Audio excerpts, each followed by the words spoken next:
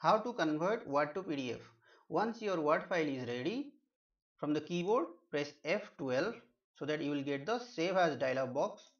Otherwise you can go to file, select save as, go to browse.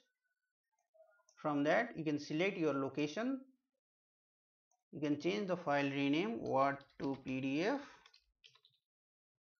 Then save as type select as PDF from options you have multiple options. You can select all pages or current pages. You can go through that.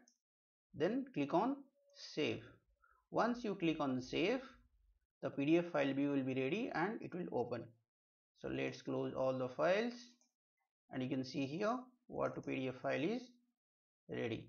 Thanks for watching